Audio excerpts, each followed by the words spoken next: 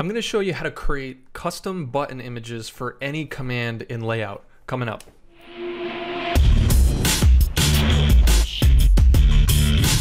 Hey, I'm Matt from MasterSketchup.com, author of SketchUp to Layout, as well as the co-author of SketchUp and Layout for Architecture. I've always wondered why we don't have a default button for inserting SketchUp models into layout. You always have to go to File and Insert in order to insert a model. So check this out. I have a custom button that links right to the insert command.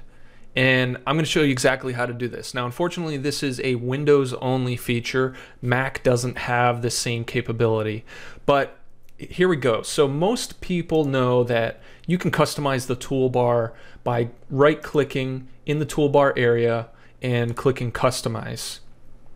Now with this customize window open, if you go into the commands tab, you can see all these different commands that are just native commands in layout.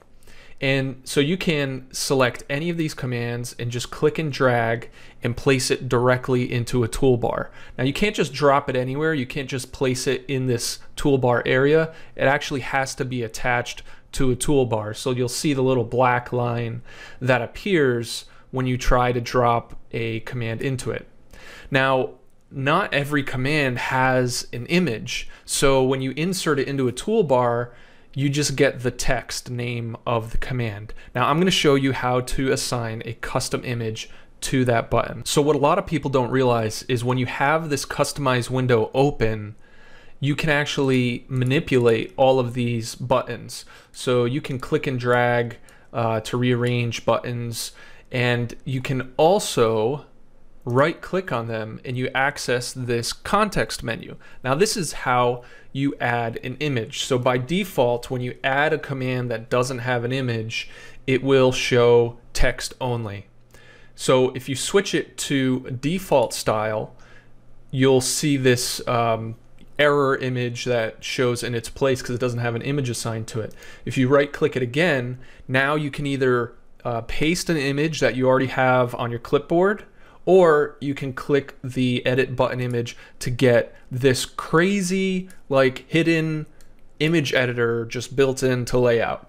So you could technically build your own image just using all these tools um, in layout. But what I did is I created an image ahead of time so I can just go to file, open, and then I can select the image that I created so that places it right in there. And then you just have to close this. There's no save command, so you just close that out, and then it'll just ask if you want to save the changes. Click yes, and there you go. You have a custom button image for any command in layout. So then you just want to close the customize window and you're all set. Now, a couple tips when you're doing this. Make sure that you include transparency in the image you create because if you look closely, when you hover over a button in layout, there's actually a small drop shadow that appears.